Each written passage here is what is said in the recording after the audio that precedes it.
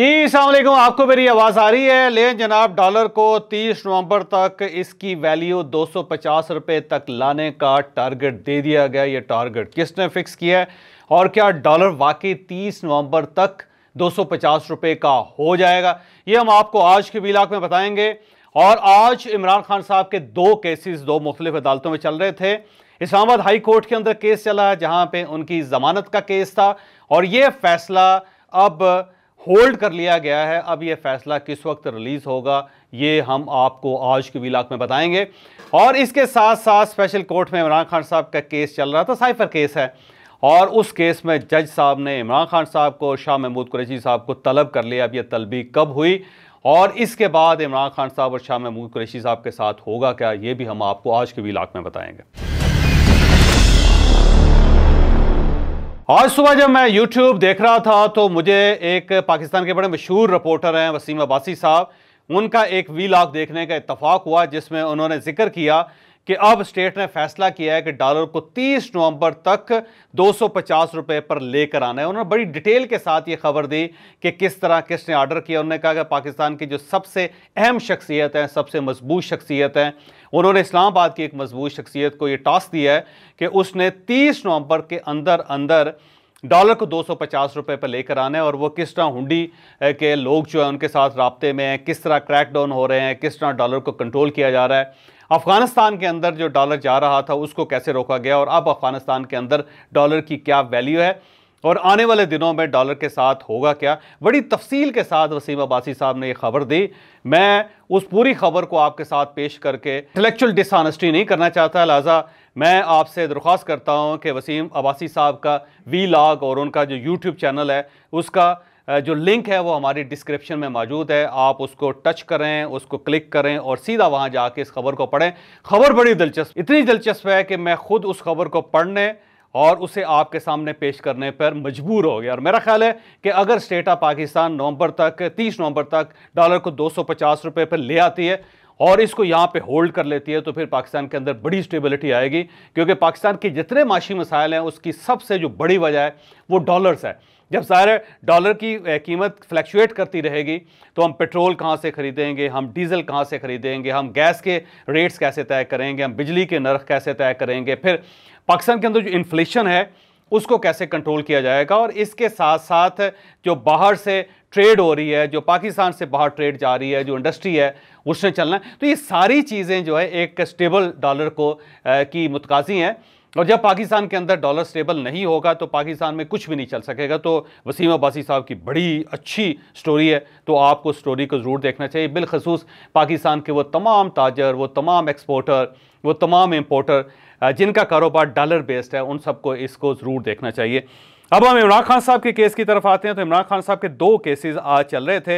एक केस उनकी स्पेशल अदालत के अंदर चल रहा था, उनका केस वो साइफर केस है। और आप यकीनन जानते होंगे कि एफ़ आई ए ने चालान पेश कर दिया और उस चालान में उन्होंने अट्ठाईस गवाह पेश किए हैं।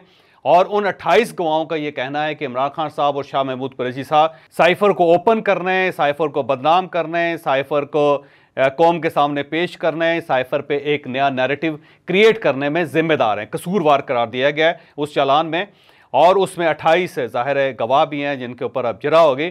तो आज जब अदालत के अंदर केस जेर समात था तो जज साहब ने फौरी तौर पर एक हुक्म जारी किया और उस हुक्म के मुताबिक अब शाह महमूद कुरैशी साहब और इमरान खान साहब को 4 अक्टूबर को अदालत में पेश किया जाएगा। उन्होंने कहा कि इन दोनों को अदालत में पेश किया जाए और साथ इमरान खान साहब के वकील ने वो चालान की काफ़ी मांगी, जिसके अंदर 28 गवाहों की फहरिस्त शामिल है, क्योंकि अभी तक गवाहों की फहरिस्त सामने नहीं आई। तो उस पर जज साहब ने हुक्म जारी किया कि इसकी कापी जारी कर दी जाए। तो अब उसकी कापी लेने के लिए कोशिश की जा रही है, लेकिन मेरा ज़ाती ख्याल ये है कि ये कापी चार तारीख ही को मिलेगी और उसी वक्त फिर वकील के पास चंद घंटे होंगे जिसमें उसने तैयारी करनी होगी। तो इमरान खान साहब और शाह महमूद कुरैशी साहब को चार अक्टूबर को अदालत के अंदर पेश किया जाएगा, जिसके बाद साइफर केस रवा दवा हो जाएगा। और मेरा ज़ाती ख्याल ये है और कुछ इन्फॉर्मेशन भी है कि इस केस को बड़ी जल्दी निपटा दिया जाएगा और शायद अक्टूबर के महीने के अंदर अंदर ही इमरान खान साहब को साइफर केस के अंदर भी सज़ा हो जाए।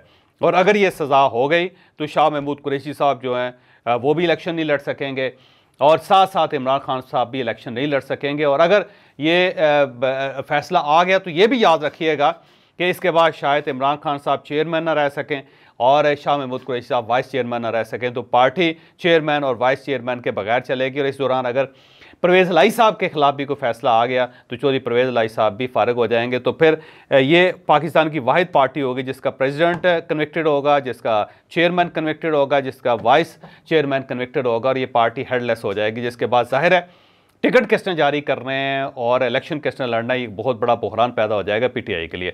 तो मेरा ज़ाती ख्याल ये, कुछ इन्फॉर्मेशन भी है कि इस महीने के अंदर अंदर इमरान खान साहब तकरीबन, बल्कि हतमी तौर पर डिसक्वालीफाई हो जाएँगे, जो मेरा ख्याल है कि पाकिस्तान के लिए खासा सेटबैक होगा। बड़ी सियासी जमात है, उसके साथ ये नहीं होना चाहिए। और इसके साथ साथ एक और दिलचस्प खबर भी है, जिसका तस्करा अब आहिस्ता आहिस्ता होना शुरू हो गया, वो है असद उमर साहब। असद उमर साहब इस सारे कज़िये के अंदर शामिल थे। बल्कि मुझे अच्छी तरह याद है कि जब इमरान खान साहब फारग हो रहे थे, उनके खिलाफ तहरीक अदम अतमाद पेश हो रही थी, और इमरान खान साहब ने ये साइफ़र का नैरेटिव लेना शुरू कर दिया था। तो उस वक्त जब जर्नलिस्टों को बुलाया गया इमरान खान साहब से आखिरी मुलाकात के लिए, और जब जर्नलिस्ट रात के वक्त इमरान खान साहब के पास गए थे प्राइम मिनिस्टर हाउस तो उस वक्त असद उमर साहब के पास वो साइफ़र मौजूद था, बल्कि वो उन्होंने फ़ाइल के अंदर रखा हुआ था। और उन्होंने पढ़ के सब जर्नलिस्टों को सुनाया भी था और उन्होंने सब कुछ बताया भी था। और उसके बाद जब वो मुख्तु शोज़ में जाते थे तो उस वक्त भी ज़िक्र करते थे और जब वो अपनी प्राइवेट महफलों में भी होते थे तो सहाफ़ियों के साथ और अपने एम एन एज़ के साथ, अपने एम पी एज़ के साथ और अपने सेनेटर्स के साथ वो बार बार इसका ज़िक्र करते थे और ये कहते थे कि साइफ़र के अंदर क्या है और उसकी ज़ुबान क्या है। लेकिन इस सारे मामले में इमरान खान साहब फंस गए, शाह महमूद कुरैशी साहब फंस गए, लेकिन असद उमर साहब नहीं फंसे। अब सवाल ये है कि वो शख्स जो बार बार इसकी बात करता था, वो अपने घर में क्यों बैठा हुआ एक सवाल है ना, बहुत बड़ा। और अब ये सवाल पीटीआई के अपने लोगों ने भी पूछना शुरू कर दिया है। और साथ साथ वो कहते हैं कि शाह महमूद कुरैशी ने तो किसी जगह पर भी साइफर की बात नहीं की। वो तो बल्कि इमरान खान साहब को भी रोकते रहे कि इस किस्म की बात नहीं करनी चाहिए, इससे हमारी सियासत पर पाबंदी लग जाएगी। अब सवाल ये है कि शाह महमूद कुरैशी जो रोकते रहे, और उन्होंने किसी जगह बेहतियाती नहीं की, क्योंकि शाह महमूद कुरैशी साहब के बारे में कहा जाता है कि वो कलमा पढ़ने से पहले भी उसको चार मरतबा देख लेते हैं कि कहीं गलत बयान ना हो जाए। तो इतने एहतियात पसंद हैं वो। लेकिन वो इस वक्त मुलम करार पा रहे हैं और उनको सजा होने का अंदेशा हो गया है। और इमरान खान साहब, ज़ाहिर डेफिनेटली उन्होंने साइफर पे बड़ी गेम की थी, उन्होंने बात की थी। ठीक है, उनका बनता है, लेकिन शाह महमूद कुरैश साहब का नहीं बनता। और वो असद उमर, जो इमरान खान साहब के कंधे के साथ कंधा जोड़ के खड़े हुए थे और बार बार वो साइफ़र की बात करते थे और फिर ये इम्पोर्टेड रजीम की बात करते थे, फिर वो ये कहते थे कि अमेरिका ने पाकिस्तान के अंदर सियासी बहरान पैदा कर दिया और उसने हमारी गवर्नमेंट गिरा दी, वगैरह वगैरह। और जो लोगों को साइफ़र की कापीज़ तो मैं नहीं कहूँगा, लेकिन पढ़ के ज़रूर सुनाते रहे। और कुछ उन्होंने कंटेंट जो है, वो व्हाट्सएप के ज़रिए लोगों तक पहुँचाया भी था। तो वो असद उमर साहब अपने घर क्यों बैठे हुए हैं? उनको ना इस केस का हिस्सा बनाया गया, उनकी ज़मानत भी हो गई और ना ही उनसे किसी ने पूछा। तो एक बहुत बड़ा सवाल है और ये सवाल अब इमरान खान साहब भी अपने साथियों से पूछ रहे हैं, बल्कि जो वकला इमरान खान साहब से मिलने जाते हैं, उनसे भी ये पूछते हैं कि भाई असद उमर से क्यों नहीं पूछा जा रहा? अब इसकी एक ही वजह है कि असद उमर साहब या तो फिर मिल गए हैं इस्टेबलिशमेंट के साथ और बर रास्त वो सब कुछ उन्होंने इन्फॉर्मेशन दे दी। और जो ये केस बन रहा है, उसकी जो बेसिक इन्फॉर्मेशन है, शायद असद उमर साहब से निकली हो। एक ये वजह हो सकती है। दूसरी वजह ये हो सकती है कि असद उमर साहब की कुछ सिफारिश बड़ी तगड़ी है। और वह सिफारिश कुछ इस किस्म की है कि ज़ाहिर है फिर उस सिफारिश को टाला नहीं जा सकता। हो भी सकता है ऐसी बात हो, क्योंकि उसकी वजह यह है कि असद उमर साहब के जो वालद थे, वो जनरल उमर थे और वो, आपको याद होगा, जनरल याया खान के बड़े करीबी थे और उस वक्त उन्होंने बड़ा कंट्रीब्यूशन था उनका 1971 में। वो उस वक्त याया खान साहब के साथ प्रेसिडेंट के साथ थे। तो एक लिंक क्योंकि असद उमर साहब का फ़ौज के साथ है। तो अब पीटीआई के लोग खुद ये कह रहे हैं कि हर वो शख्स जिसका ताल्लुक स्टैब्लिशमेंट के साथ माजी में किसी भी जगह भी रहा है, उसके वालद थे या उसके दादा थे तो उनको सपोर्ट मिल रही है और जो बाकी लोग हैं उन सबको रगड़ा लग रहा है। तो अब ये ज़ाहिर सवाल किया जा रहा है और आने वाले दिनों में ये सवाल किया भी जाएगा, लेकिन जो मेरी इंफॉर्मेशन है वो इंफॉर्मेशन नहीं है। असद उमर साहब को इसकी की वजह से रिलीफ नहीं मिल रहा। असद उमर साहब को उस इंफॉर्मेशन की बेस पर रिलीफ मिल रहा है, जिसकी बुनियाद पर इमरान खान साहब के ख़िलाफ़ इस वक्त केस चल रहे हैं और आने वाले दिनों में भी ये केसेस चलते रहेंगे। अब हम दूसरे इशू की तरफ़ आते हैं। इमरान खान साहब का एक केस इस्लामाबाद हाई कोर्ट के अंदर भी था और वो था साइफर में ज़मानत का केस। आज जब उनके वकील अदालत में पेश हुए तो एफ़ आई ए के जो वकील हैं, शाह खावर साहब, उन्होंने वहाँ पर नुकता उठाया कि क्योंकि ऑफिशियल सीक्रेट एक्ट का इशू है और इस इशू पे ओपन हेयरिंग नहीं हो सकती तो अगर आपने ज़मानत के ऊपर बहस करनी है या बात करनी है तो फिर इसे इन कैमरा किया जाए। यानी अदालत में ये जो हेयरिंग है इसे इन कैमरा किया जाए तो उसके ऊपर ज़ाहिर है फिर मामला डिवर्ट हो गया। और इस डावर्जन में अब जज साहब ने यह पूछना शुरू कर दिया है कि साबित किया जाए कि क्या वाकई इस किस्म का जो केस है, उसे उसकी समात इन कैमरा होनी चाहिए। और जब उन्होंने ये नुकता उठाया तो उसके बाद शाह खावर साहब ने बड़े पॉइंट्स दिए और उन पॉइंट्स की बुनियाद पे फिर ज़ाहिर एक फ़ैसला हुआ और उस फैसले को महफूज कर लिया गया। अब सवाल ये है कि पीटीआई के चाहती पीटीआई चाहती थी कि ये ज़मानत का केस है, इसके अंदर तो ज़ाहिर है ना कोई ऑफिशियल है, ना कोई सीक्रेट है, ना कोई एक्ट है। हम उस पर बात ही नहीं कर रहे, हम सिर्फ़ ये बात कर रहे हैं कि इमरान खान साहब को इस केस के अंदर ज़मानत दे दी जाए उन्हें घर भेज दिया जाए।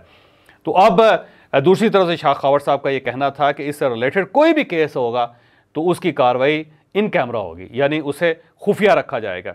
इस तरह ओपन अदालत के अंदर इसके बारे में कार्रवाई नहीं हो सकती।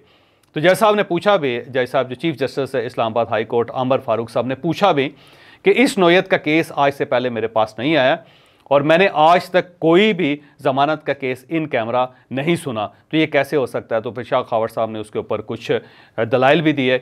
जबकि पीटीआई की तरफ़ से बार बार इसरार किया जा रहा था कि नहीं इसके ऊपर फैसला किया जाए इसके अंदर कोई सी, सीक्रेट ऑफिशियल सीक्रेट एक्ट का मामला नहीं है ना ही इस पर यह कानून वायलेट होता है। तो अब फैसला महफूज हो गया है और जहाँ तक मेरा ख्याल है कि इमरान खान साहब को इसके ऊपर रिलीफ नहीं मिल सकेगा और ये मामला भी डेफिनेटली अब सीक्रेट ही रखा जा सकेगा। तो इनके वकील जाया करेंगे, ज़मानत की बात करेंगे, ओपन अदालत के अंदर इस मामले को डिस्कस नहीं किया जा सकेगा। मेरा ख्याल है, अब ये, अगेन मैं ये कहता हूँ कि मेरा ख्याल है, फैसला तो ज़ाहिर जज साहब ने देना है, लेकिन यहाँ पर भी इमरान खान साहब को रिलीफ मिलता हुआ नज़र नहीं आ रहा। और इसके साथ साथ बुशा बीबी ने एक दरख्वास्त दायर कर दी, उन्होंने कहा कि मुझे ख़तरा है कि मेरे खामद को खाने में जहर दिया जा रहा है। लिहाजा इन्हें घर से खाना पहुँचाने की इजाज़त दी जाए। अब अल्लाह बेहतर जानता है कि इजाज़त मिलती है नहीं मिलती। लेकिन एक इंफॉर्मेशन आपके साथ शेयर कर रहा हूँ कि ये इजाज़त तो नहीं मिल सकेगी, लेकिन एक डॉक्टर की इजाज़त ज़रूर मिल जाएगी, जिसके ज़रिए इमरान खान साहब का खाना अब बाकायदा चेक होगा और चेक करने के बाद इमरान खान साहब को दिया जाएगा।